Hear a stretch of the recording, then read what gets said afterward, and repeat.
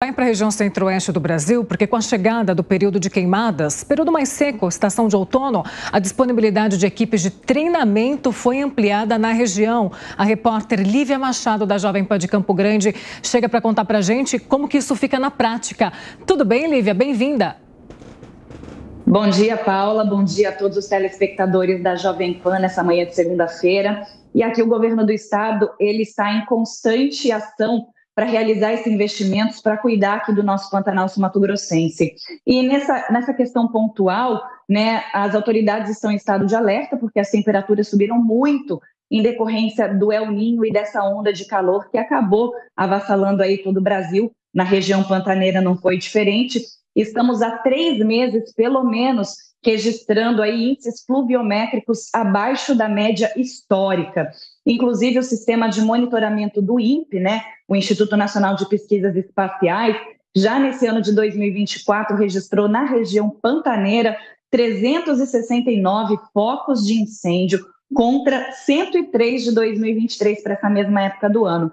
Ou seja, é um estado aí que requer bastante atenção. A gente sabe que a região pantaneira compreende os estados do Mato Grosso e do Mato Grosso do Sul, porém, a atenção maior está aqui para a região do Mato Grosso do Sul, onde foram registrados 58% desses focos de incêndio, então, na região do Pantanal.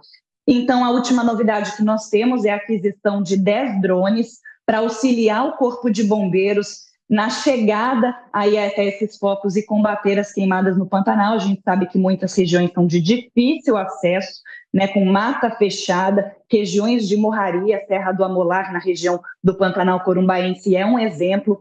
Foi até registrada a situação de emergência no último inverno, né, por conta das secas.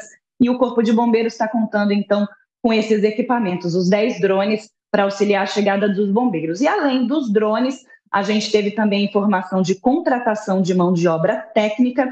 Antes eram três operadores tecnólogos que faziam então o trabalho junto a esses equipamentos tecnológicos é, que fazem o sobrevoo à região, e agora nós temos 10 profissionais fazendo isso na região do Pantanal. Então, uma grande ajuda ao Corpo de Bombeiros, que já está atuando antecipadamente ao inverno, porque a onda de calor ela já vem desde o verão do ano passado, mas o inverno, que é quente e seco, acaba sendo mais crítico aqui para a região do nosso Pantanal Sumato-Grossense. Devolvo para vocês um ótimo dia, uma boa semana. Ah, com certeza, Lívia. Essa mobilização do Corpo de Bombeiros aí do pessoal da região centro-oeste do Brasil é importante, principalmente nessa época do ano, como você bem disse. Até mais para você, Lívia.